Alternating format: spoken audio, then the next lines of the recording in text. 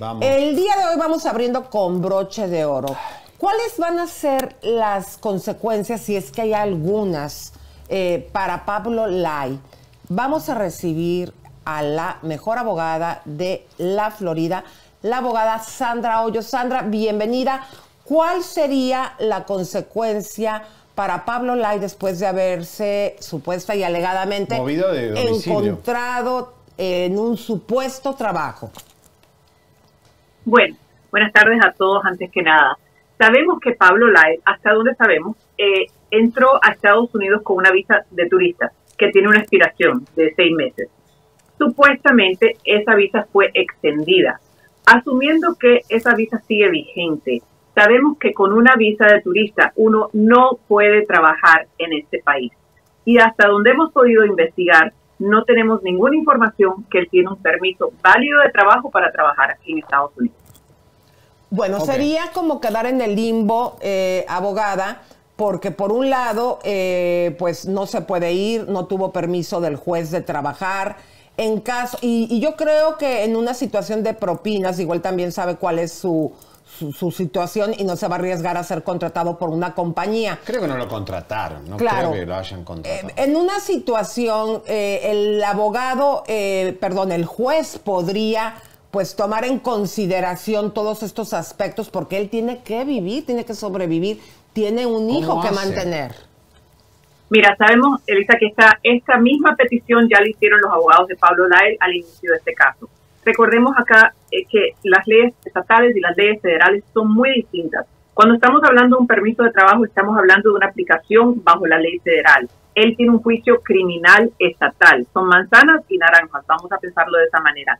Él no tiene permiso para trabajar presuntamente. ¿Qué puede suceder si él está de voluntario en este restaurante y de casualidad recibe propinas? Quedamos en la misma situación. Él no puede recibir pago ninguno. ¿Que puede trabajar voluntariamente? Sí lo puede hacer. Ahora no puede recibir ni el primer dólar porque al recibir ese primer dólar tiene que declararlo antes de lo que conocemos como el IRS. Bueno, pero también es algo muy difícil de comprobar, ¿no? Bueno, no sabemos. Ahora, Eh, sí, no, sí, no, no se crean. Aquí los federales te dejan correr un tiempito, pero recordemos que son eh, delitos distintos que son, eh, conden- o sea, son cargos que vienen por distintas agencias. Una es estatal y la otra es federal. ok, ahora, eh, el cambio de domicilio. Él tiene eh, hasta las 8 de la noche para estar afuera, puede ir al gimnasio. ¿Hasta dónde puede ir él y moverse? Y si cambió de domicilio, ¿lo tiene que avisar?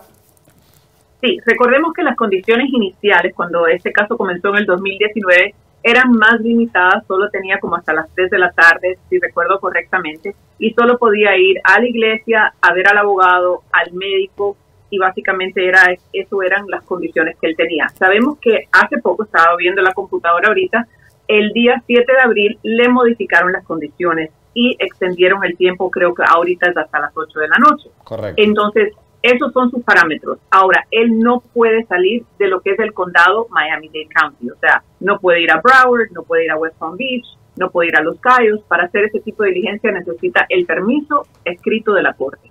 Ay, qué fuerte, No, ¿no? qué porque e, e incongruente, abogada, porque como una persona que tiene ya estacionada en esta situación tres años y que tiene una familia que mantener y que no tiene casa, que no tiene ingresos, Que el cuñado o sea, ya no quedan lo en un limbo, más. o sea, eso es completamente de las cosas que a veces vemos que la ley pues tiene esas eh, situaciones Pero que deja a la a gente en el limbo. Ramos que tenía un grillete y se escapó de Miami. Es decir, tampoco Exacto. podrá acercarse a los aeropuertos, ¿no? Eh, No. Siempre las condiciones cuando existe un caso criminal así y sabemos que la persona tiene eh, algún tipo de vínculo con un país extranjero, siempre son limitados a no estar cerca de ningún lugar de transporte que pueda facilitar esa ida a otro país. Ahora, Sandra, si yo me encuentro con Pablo Lai en la calle y le digo, toma, 100 dólares porque me das lástima, estás Un en regalo, no, por un un regalo, regalo, estás un en regalo. un limbo. ¿Él lo puede recibir? Elisa, Elisa acaba de decir la palabra mágica. Es un regalo, es distinto. Él ¿Qué? puede reclamar que es un regalo, pero si estás trabajando, la persona no te va a... re- o sea, son obviamente propinas. Es muy difícil darle la vuelta a eso. Lo único que conlleva es un investigador con una cámara que lo vea sirviendo café y recibiendo una propina. Yo Pero- como abogada, si fuera cliente no me arriesgaría. Pero, a ver, abogada, ¿Por si qué a los él... abogados lo dejaron? Claro, se supo públicamente que a él lo tuvo una situación con su cuñado porque pues un departamento muy chiquito y tantos años ahí ya viviendo. Entonces, él también podría dar ese argumento, porque para poner un techo sobre su cabeza, lo que nosotros entendemos es la situación por la, que lo la cual él estuvo ahí durmiendo en este café porque no tenía dónde ir. Así es, y es una situación de verdad lamentable, yo estoy de acuerdo con ustedes, pero no quita que es una persona que en estos momentos presuntamente cometió un delito. Entonces la ley es la ley y tiene que aplicar para todos. Claro. Eh, normalmente una persona en esta condición estaría en la cárcel esperando su juicio. Ahora, estaría en una cárcel de inmigración esperando su juicio. Entonces, sí, es muy lamentable su situación, de verdad, por él y por sus hijos. Pero realmente la ley acá en Estados Unidos no tiene cómo arreglarlo porque no hay ningún vehículo para otorgarle una visa de trabajo. El, el otro problema que tenemos con eso es que, dado los cargos de Pablo Lai, alguien pudiese argumentar, él no debería estar cerca del público hasta que se entienda que es una persona inocente, todavía está bajo estos cargos. ese es otro Entonces, punto. Correcto. Entonces, ¿cómo vamos a permitir que una persona que presuntamente le dio un golpe a un señor que terminó falleciendo, lo vamos a tener al público con- ayudando a otras personas? Entonces, también otro argumento que puede suceder de parte de la Fiscalía, aquí estamos no para dar una opinión, sino para presentar ambas partes de esta historia. Ahora, Exacto. Sandra, aquí no es esto del café, no es esto de, de la visa quien lo puede llegar a perjudicar con el jurado. Es que la mujer lo abandonó y eh, le pidió el divorcio. Esto es malísimo para la opinión de un jurado en Miami. Eh, puede ser visto de una forma muy negativa por parte del jurado. Recordemos que el hecho que él esté casado o divorciado no va a cambiar la aplicación de la ley criminal sobre los cargos que él está enfrentando. Esa es una parte de la ecuación. La otra parte es cómo ese jurado que va a tomar una determinación va a verlo, va a decir, espérate, este es el hombre de familia que estaba defendiendo a sus hijos, a su mujer, lleva tres años esperando un juicio y la mujer lo deja en pleno juicio. ¿Qué Le sabrá ella? jugar. ¿Qué sabe nosotros? Le podría llegar a jugar a su favor, ¿no? Porque está viviendo una tragedia. Ahora, una No, pregunta. en contra. No, no, a, favor. ¿no? Si tú eres mujer y sos jurado y ves Ah. que la mujer lo dejó, decir, este es un patán. No, yo, no, pero yo diría, pobrecito, hasta lo dejan. No, Ahora, una, una pregunta, eh, eh, abogada. Si la gente que tiene, que son fans de Pablo Lai, hiciese una, fun- una recolecta en GoFound para hacer regalo de dinero, ¿eso sería, eh, podría él recibir ese dinero para ayudarse, sí o no? Sí, eso es muy distinto. Eso ya es un regalo de las personas que lo están apoyando. Es igual que si su familia le mandaría dinero para tratar de apoyarlo en este proceso.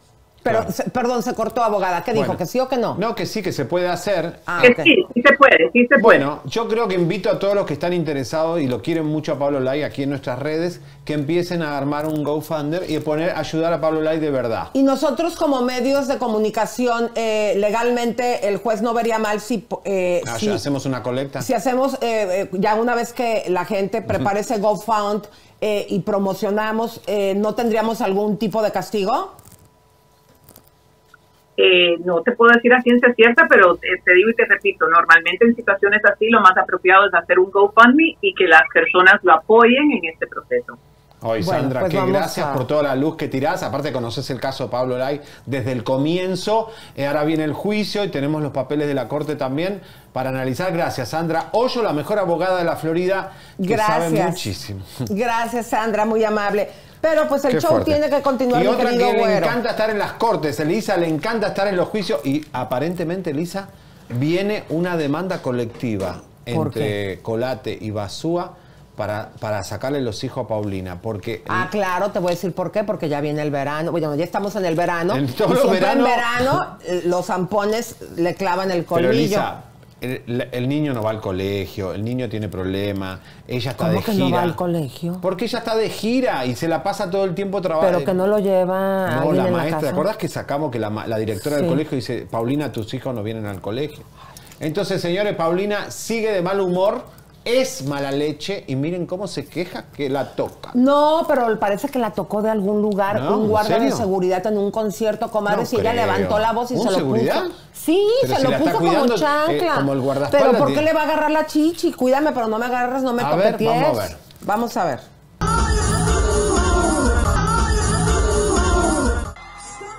Paren la música. Paren la música. Señor, usted me tocó. Usted me tocó. Y eso está mal, porque es la seguridad. Qué pena por usted.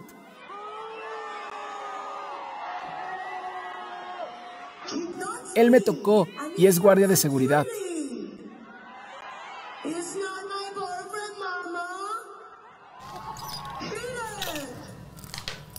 ¡Bravo! ¡Bravo! Estas son las cosas, comadres, que nos envalentonan. Porque fíjense ustedes, ¿cuántas veces, eh, Javier, yo viviendo en Aguascalientes, que ahí se usaba que te daban una nalgada? ¿Tenía seguridad ahí? No, eh, Ah. eh, lo- los señores pasaban en la bicicleta en esas callecitas tan angostitas en las banquetas y te daban una nalgada y a veces hasta por la pena te quedabas callada. Ahí ¿Te lo que ti, nosotros, no? sí, claro, muchas veces. Lo que nosotros acabamos de presenciar, comadres, es que ella en pleno concierto pues se baja a convivir con su público a cantar y el de seguridad pues va detrás de ella. Pero ahí lo que vimos es que el señor pues se aprovechó y le hizo un toqueteo. No sabemos porque la imagen vuelvan a poner en lo Sí, que la yo verdad, yo explico. no veo nada. A ver. Fue muy lejana, pero la gente que estuvo ahí, nuestras cucarachas, nos dijo pues que le había eh, hecho un tocamiento de una de sus partes privadas. No nos han especificado si fueron las pompis o fueron los senos. Pero Paulina, a pesar, pues imagínate que te hagan del coraje, que te hagan eso y la vergüenza, ahí mismo levantó la voz y le dijo, oye, usted me tocó, usted es de seguridad, ¿cómo alguien de seguridad hace eso? Entonces, ¿qué es lo que pasa entre Yo lo- los no comunes, sé. mi querido Javier? Cuando una mujer, las comadres que nos están viendo, vemos que una artista que es tan famosa como ella hace eso, nos envalentona. Pero yo te digo la verdad, no, no quiero dudar de Paulina y siempre defiendo a las mujeres. Conozco, los, los- los tipos de seguridad, la verdad, tienen un entrenamiento para ser cuidadoso porque Pues si la este van a señor- lastimar o que sea, que la haya, que se haya calentado ese tipo en medio del concierto, no creo que sea un, un man- manoseo esto- erótico, pero... En esto, mi querido Y Javier, Paulina, recuerden que siempre canta como media volada.